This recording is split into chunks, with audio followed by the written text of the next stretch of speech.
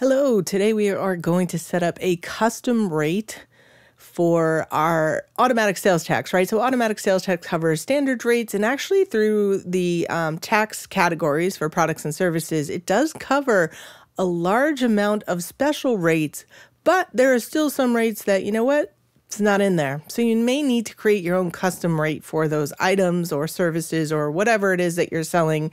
In this case, in our uh, example today, I'm going to create a rate for cannabis, uh, which is a, big thing across the country, uh, special rate on the sales of uh, recreational cannabis. So we'll do that today.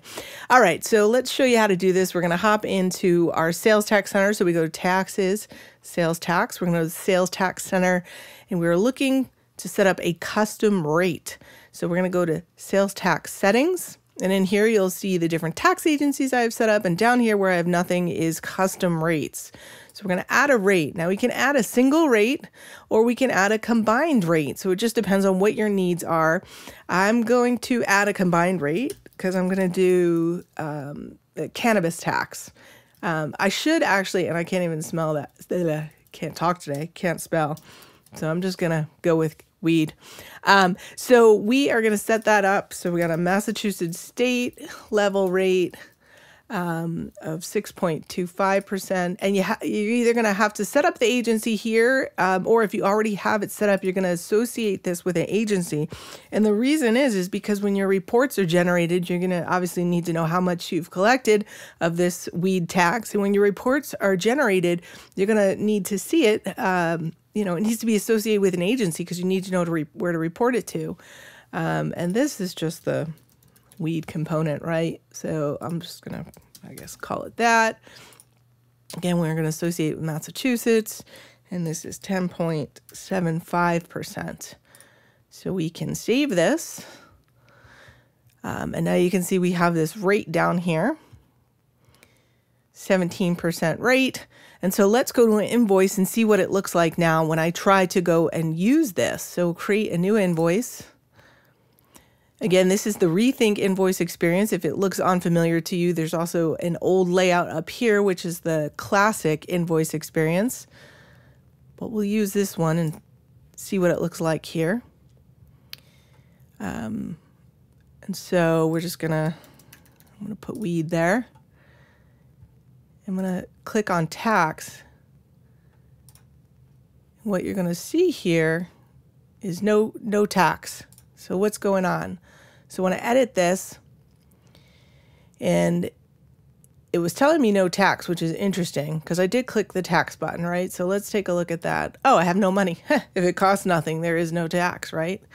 All right, so there we go. We've got our tax. We have our, our general rate of tax. So let's go in here and we can click. Um, we can see what's going on. So there's no special rate being applied to it. And I've got this little box up here that's come up now that I've created a custom rate. Uh, I didn't have any before, so if you look at an earlier video, you're not going to see this box. But now QBO knows I created a custom rate, so I'm going to get this drop down box and I can click on the custom rate that I created.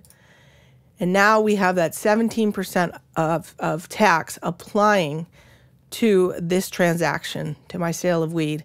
And um, it's pretty cool, right? So I can go back here and you can see, oh, if I pick the wrong thing, I can go back and pick just a standard rate. So that's what it looks like in the Rethink invoice. And I'm actually going to switch to an old layout now. Uh, for those of you that may be using the classic invoice, and we'll do it and show it to you there. Uh, looks a little bit different. So I'm going to pick out my Massachusetts customer again put in our weed. Remember to put an amount this time. And click on that tax box. See, we have the uh, standard rate of tax. And here we have this drop down. So based on location it means it's using automatic sales tax. So it's using the sales tax rate for this location for this ship to address. Uh, and it's a single rate state, Massachusetts generally, right? So we're we're not going to see anything riveting there with when our address changes. But what we can do is we're going to go down here and we can pick our custom rate we set up, and there we again we see that we get the 17% tax here. So I hope this helped you today. You can set up any kind of amount of custom rates that you want. Um, again, single single rate or the combined rate.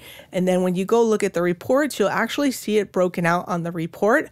Um, not going to dive into that right now, but I'm going to go and do another video about reports um, at some point because I know that's really helpful for people because they're really important. You need to be able to see a report of your sales tax liability in order to file your sales tax returns or your weed tax returns. So thanks for watching today. I hope this was helpful and I'll see you in another video again soon.